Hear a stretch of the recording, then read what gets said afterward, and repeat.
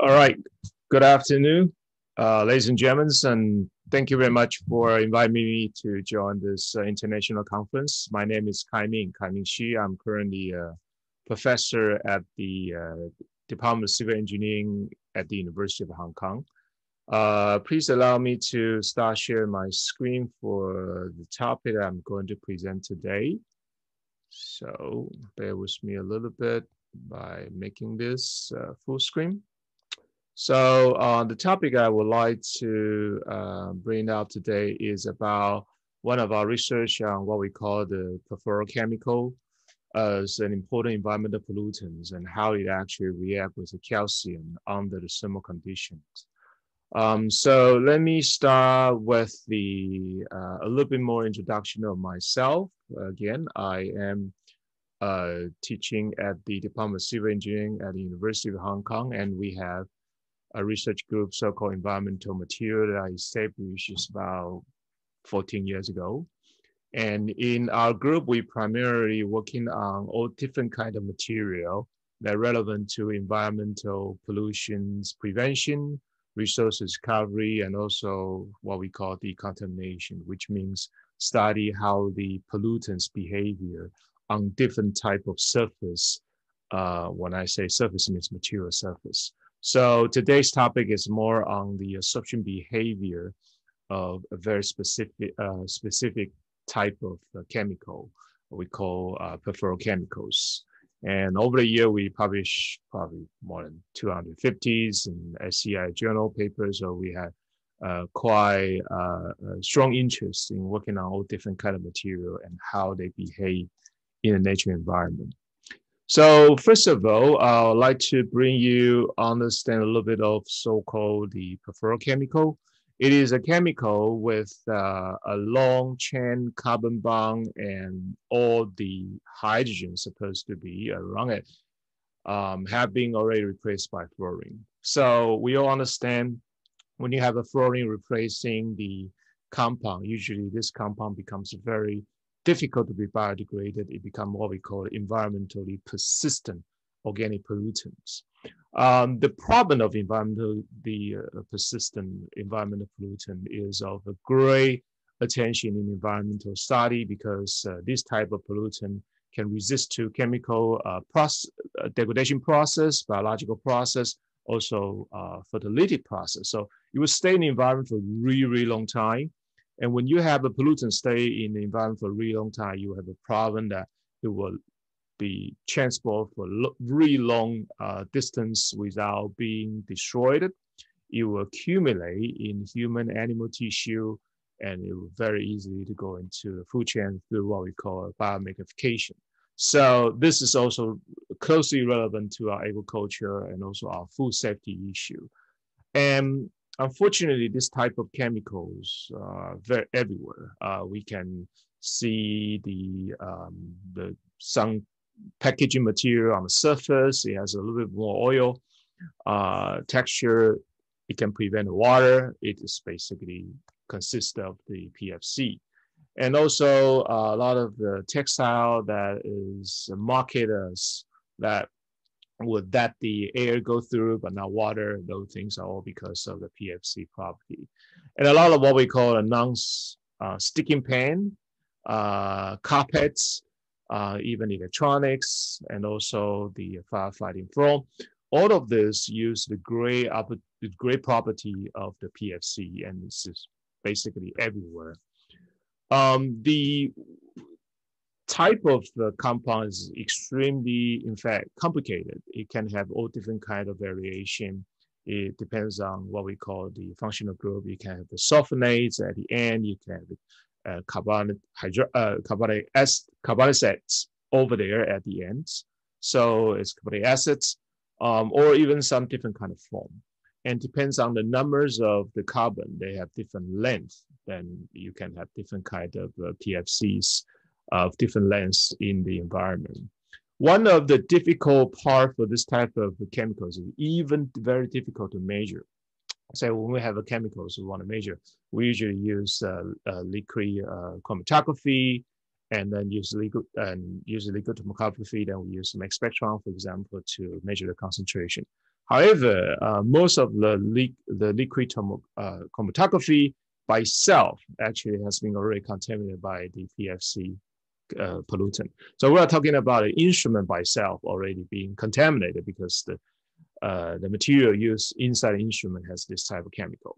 Also, uh, a lot of uh, chemical reagents like methanol that we usually use for uh, as a dilution phase for and carrying phase in the uh, so-called the liquid chromatography by itself will also be a contamination source.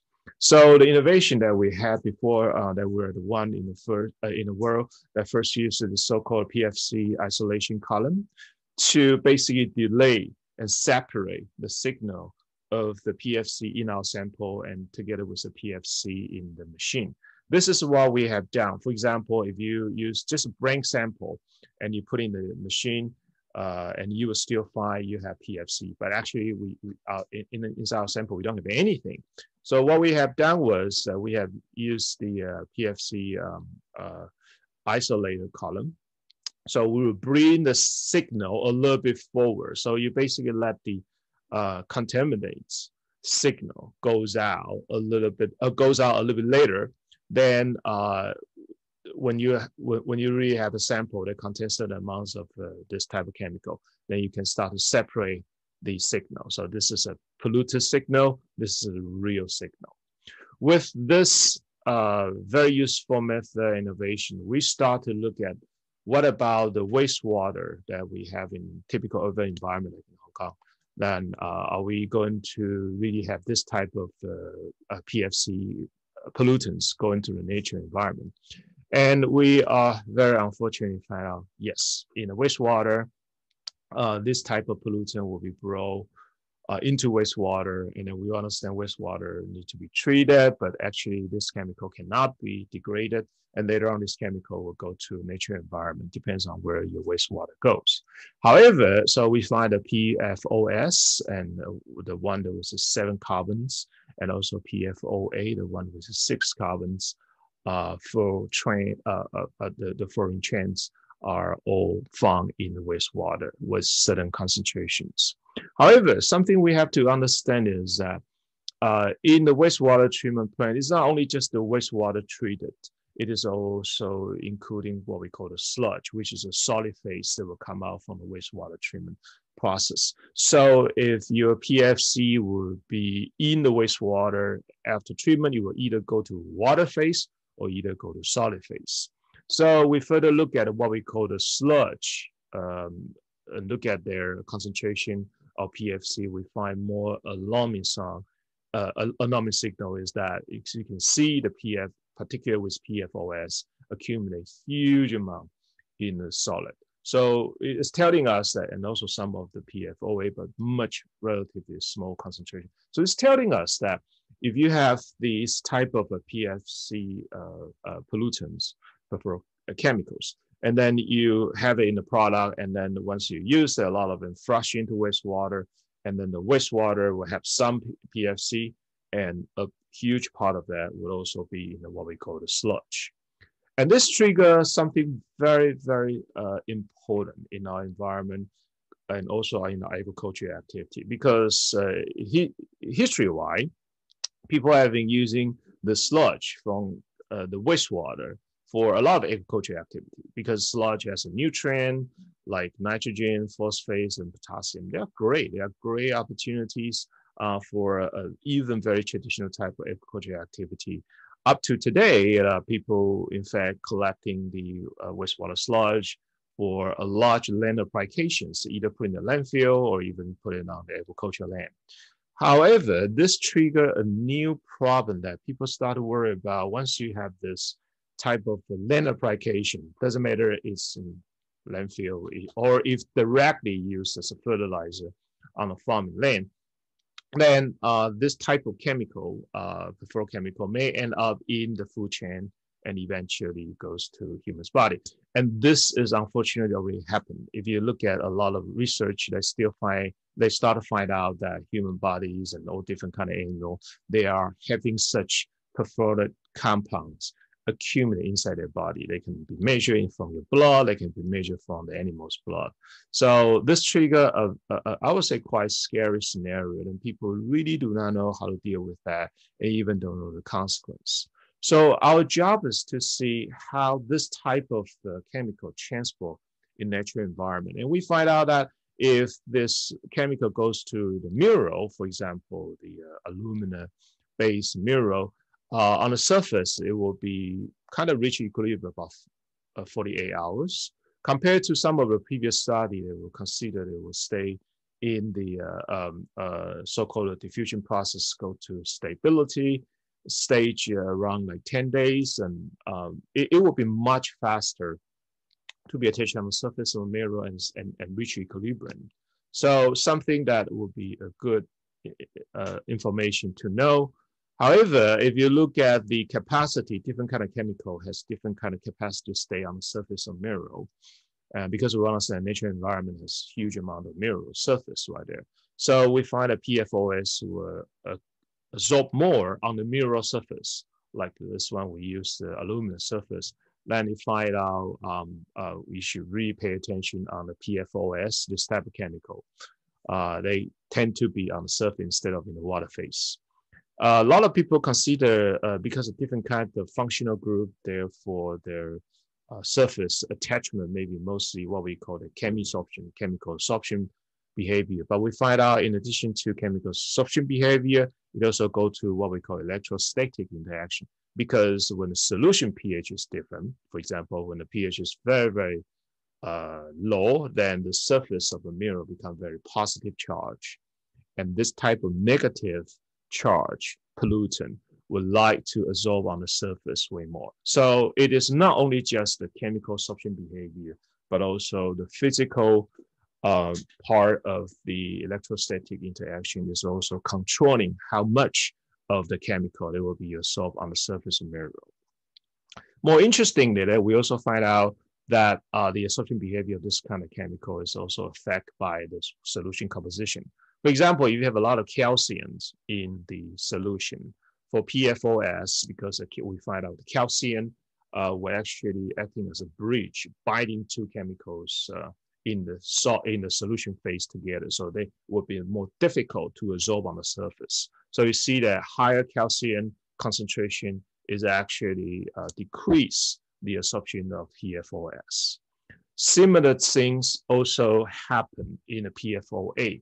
But in this case, both calcium and magnesium, both of them can be so-called a bridge, acting as a bridge, holding the pollutants in the solution. And therefore, once you have very high calcium or um, uh, magnesium, like in groundwater, then you actually have a slightly less uh, absorptions for the PFOA on the mineral surface. However, we also understand in nature environment, we're not only looking at the mineral, we also have what we call the organics. So the organics will also affect the absorption of this type of chemical, depending on whether the long chain PFOS with seven carbon or so-called BFBUS.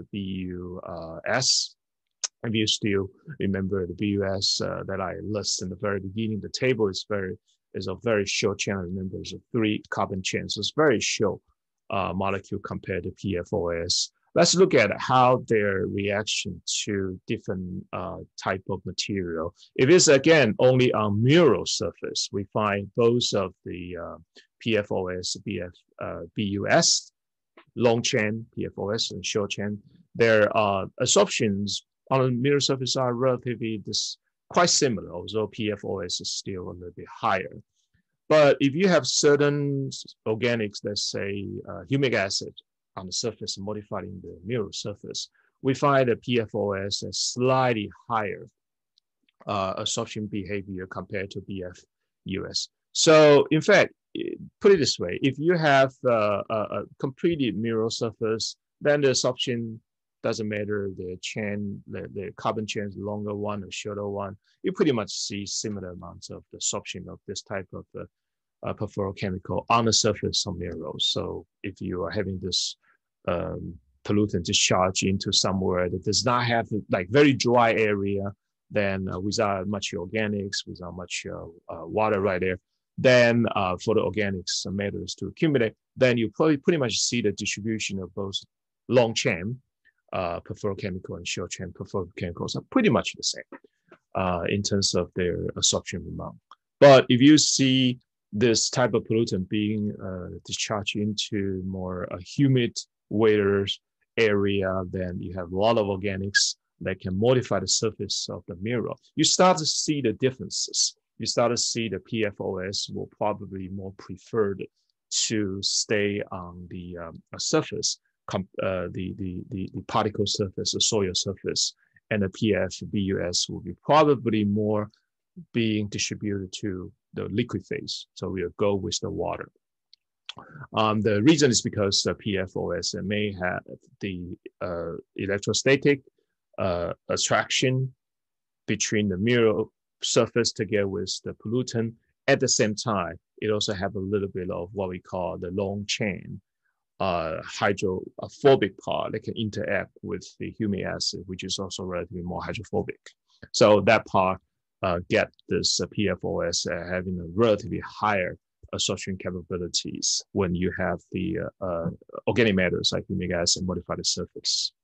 So that uh, very nicely explained the fate and transport of the pollutants, how they got generated, how they got distributed in the wastewater, how goes to either wastewater or sludge, and then when the wastewater or sludge got used uh, for either agricultural activity or even discharge into nature environment uh, for the dry soil, for the wet soil with more organic content, which you know uh, which part it will go to.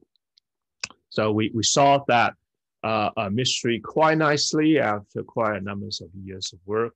And uh, we encounter a new challenge right now because uh, when we were uh, quite clear about, say, uh, this type of chemical goes to landfill, what will happen to that?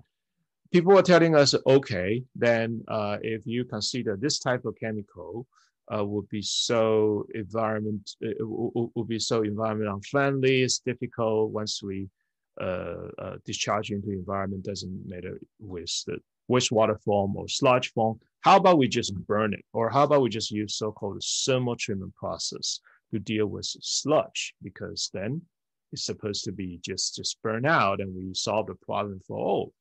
So-called thermal treatments, and usually we, a lot of people uh, think about is what we call incineration, which is burning. That's usually the highest temperatures uh, uh, treatments which is okay, but you may or may not be afford to do that all the time. So you may have uh, the lower temperature, like drying, sludge drying is very common technology people use for treating sludge, or even use for gasifications. And these different range of uh, temperature for you to choose are within what we call the thermal treatments range. However, uh, we find out a very um, unfortunate news again because uh, uh, if you simply have PFOS under high temperature, try to gasify it to make it into gas. Yes, you'll become gas phase. So you don't have PFOS as a as a pollutant, either in a liquid or solid anymore, but you create a new type of air pollutant we call fluorocarbons. So this type of fluorocarbons um, are will be created as uh, you actually know chemistry because it's a carbon, it has it has fluorine, boom, it's basically just the, the overall product uh, in the air of fluorocarbons. And these fluorocarbons are what we call very, very highly Uh, uh, uh, what we call greenhouse gas uh, potents. it, if we know that each part of the CO2 will have one effects of, of the global warming potential, each part of this type of what we call the for fluorocarbon is we're talking about several thousands, so several thousand times worse than uh, this, uh, the uh, CO2 uh, as a greenhouse gas effects. So we have to figure out how to deal with it. We cannot let this type of fluorocarbon to be emitted during the burning process. So one of the, the, the trick that we have been working on for so long is that we're quite good in working on calcium type of material. So we were thinking when you have the sludge, they need to go for thermal treatments. Sludge's composition is quite complicated by itself.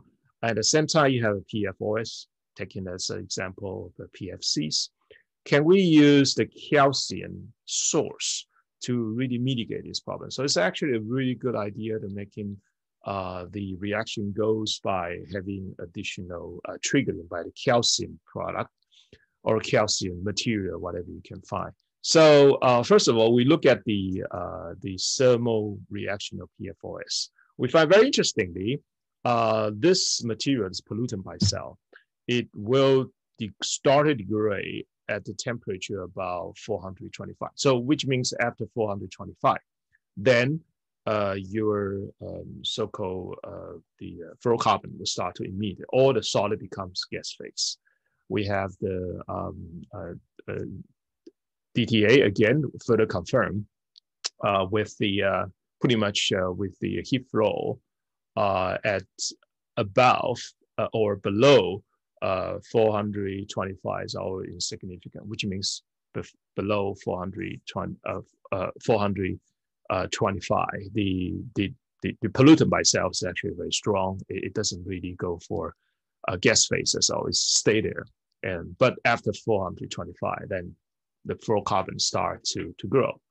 Um, so we start to add uh, a calcium source into the sludge and try to see whether how it will react with the PFOS uh, in the sludge. And the, again, the goal is to minimize the fluorocarbon coming out as a gas phase. But we will end up with what we call the ash when we do the thermal treatments. Say even in the highest temperature incineration, you end up with you end up with ash if you go for sludge or drying, then you will start have the dry sludge. So we're facing what we call the solid material. The solid material would be the final product, and we have to figure out what the solid material is. Or from the solid material, we understand whether we re-stabilize the fluorine uh, coming out from the PFCs by adding uh, the calcium source. In this experiment, we basically add the uh, um, calcium hydroxide, but it doesn't matter. I think if you have calcium uh, carbonate, you have calcium uh, oxides, I think this all work. It's just basically supporting the uh, calcium for that. And once we have to deal with so-called the solid right here, that we have to we have to start to deal with the material. And one of the important technique to deal with materials is what we call X-ray diffraction. That basically use the X-ray to shoot into the crystal, and then use the uh, the, the, the, the crystal, because crystal structures have atoms occupied in different positions. So that kind of uh, um, diffraction pattern that we observe after X-ray shoot through the crystal will give us some uh, good information to analyze. So uh, these days, uh, every lab have this um, X-ray diffractions, uh, or at least every big lab should have one. And then you can have the signal to tell you which phase, which minerals actually end up in your uh, treated um, uh, your, your, treatment process, like the ash that we're talking about, in order to know how the uh, fluorine has been stabilized or not. Uh, one thing I, I, like to say why we like calcium is uh, we actually work with oyster uh, research before with biologicals and colleagues because uh, during the process of the oyster growing, they have the larvae and they actually start to calcify what we call the bio mineralizations um, they it's like a bone, like a baby's uh, a baby oyster. They have their small bone to be grow. At the time, they are in what we call a aragonite phase, and we we very nicely use X-ray diffraction to to confirm that. And then later on, when they grow to the oyster, they become so-called calcites. So this transformation process is very interesting, and we use to deal with this type of uh, uh, calcium source a calcium type of material with our X-ray diffractions technique. So we find that's that's something that we can do uh, much better than the other people. So we add the calcium into this source, and we find very interestingly, um, at remember if I if, if I may uh, remind you that before 425, that PFC compounds stay could stay stable. But in fact, before that temperature, when we add calcium, we are like say 350 lowest, we verify we have a new phase coming up, which means a new fluorine phase, which means we have before the fluorocarbons emitted, we already successfully convert some of the fluorine into the uh, the calcium fluoride. And that's very exciting because we find a new way to stabilize the fluorine before it got emitted as a fluorocarbon as a very, very strong uh, uh, uh, greenhouse gas potential. So that is giving us a great um, uh, uh, excitement. And we find out, say, at 400 degrees Celsius, so for example, 400 degrees Celsius, the, uh, the again, the PFOS is still not being vaporized into gas phase yet. We only need five minutes, then we can actually have a substantial amount of, of the uh, uh, calcium fluoride there.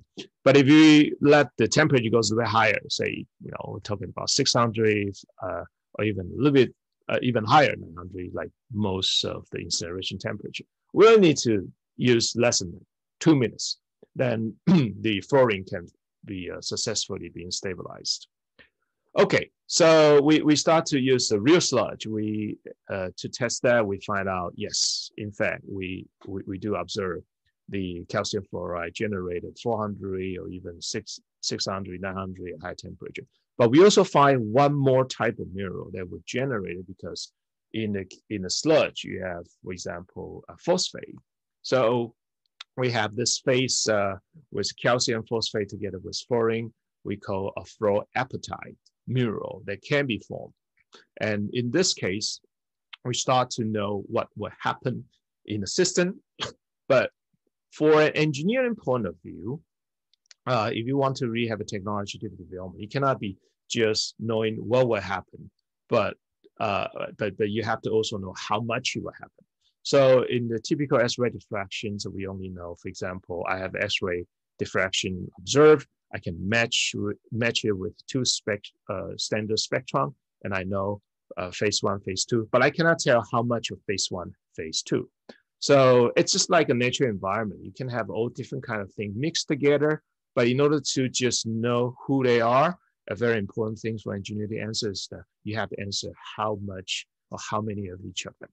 And that comes to uh, what we call the simulation of the atomic structure of each mineral phase using what we call Rietveld refinement to really match the observed X-ray diffraction peaks and know how much each phase will actually be in your sample. So th this part goes to the more complicated and it goes to the, the structures and uh, um, atomic calculation. I won't go too much about that, but we have that skill for a really long time.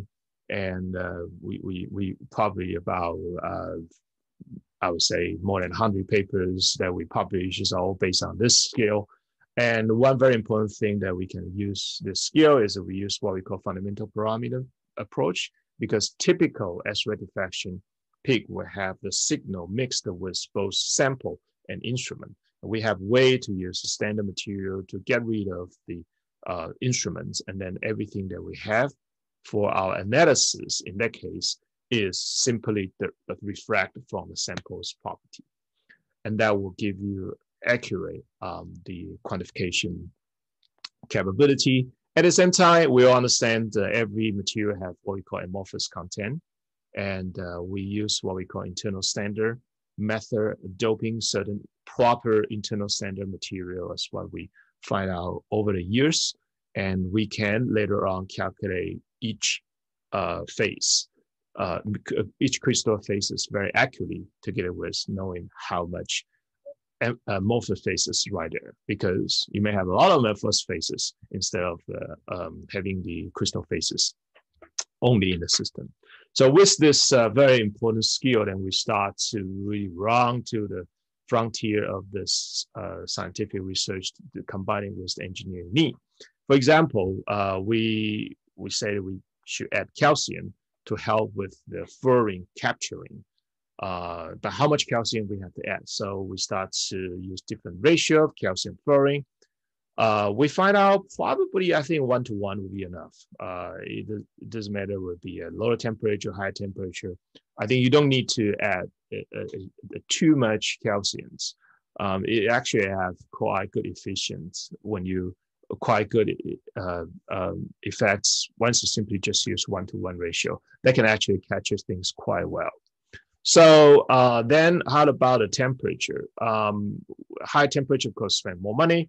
High temperature will also limit our applications. If we have a lower temperature, like in 400 degrees Celsius, a lot of the sludge drying process can be at that temperature. So we're talking about even a lower sludge drying all the way to incineration. This technique can be all applicable. We're talking about the efficiency of capturing can be between above 60% for sure, if not close to 70% at low temperature, all the way to probably close to 90% of the fluorine capture. It's a huge amount of fluorine that can be captured.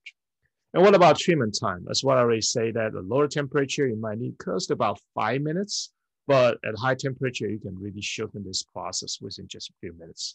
So once you have a much shorter reaction time, it gives you a great flexibility to design your process and very efficiently. You don't really add too much cost of your process and you can capture the fluorine very nicely. Okay, so uh, once we have the um, real sludge, we have, if you still remember what I'm saying, that the uh, fluorocarbons, uh, the fluoroapatites as part of the potential phase, they can stabilize the fluorine. So the total, say at 400 degrees Celsius, the total fluorine capture is this amount, and the majority is contributed by calcium fluorides. No problem.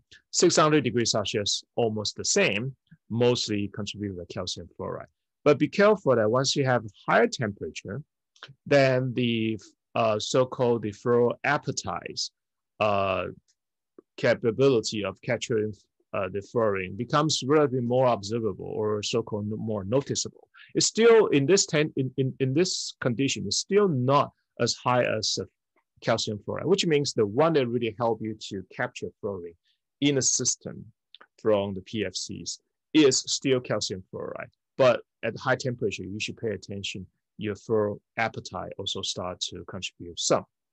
More importantly, when you start to go for higher temperature, one thing you should also pay attention is that, say above the 600 degrees Celsius, then your calcium fluoride capture capability will start to decrease.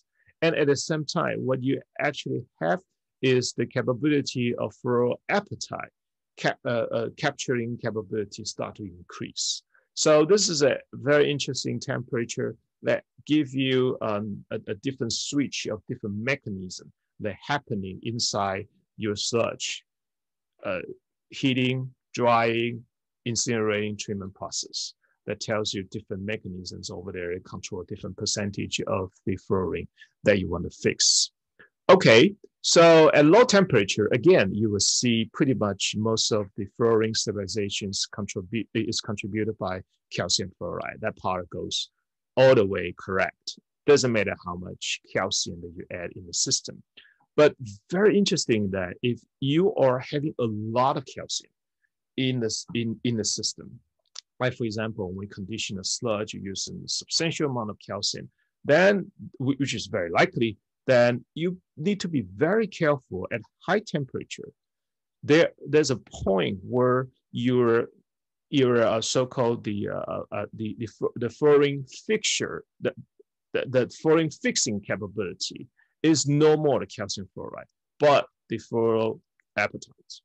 So again, at high temperature with high amounts of calcium, then the mechanism that help you to stabilize the fluorine in the solid phase becomes what we call fluoroapatite.